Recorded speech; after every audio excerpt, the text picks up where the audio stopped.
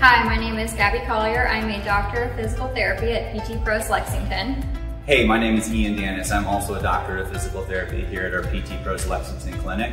Today, both Gabby and I are going to show you guys some treatment techniques, what we utilize here to treat foot injuries, as well as some great ways to stay moving. So some of the treatments that we offer are dry needling. We do dry needling alone and with E-stim that helps bring blood flow to the area. Also, we use cupping. That is a form of using negative pressure to try to pull blood into the area, as well as break up fascial adhesions. We have tons of elite hands-on joint mobilization and manipulation techniques. We do scraping and myofascial decompression.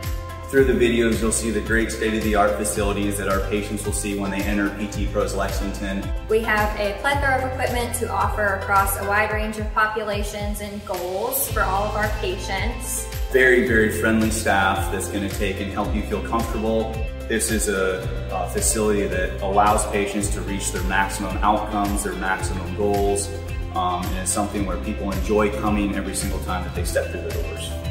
We look forward to taking care of you. Give our Lexington clinic a call at 859-402-1220 to set up an appointment. Or you can visit our website at www.ptpros.com to find a location near you so we can help you get moving and stay moving.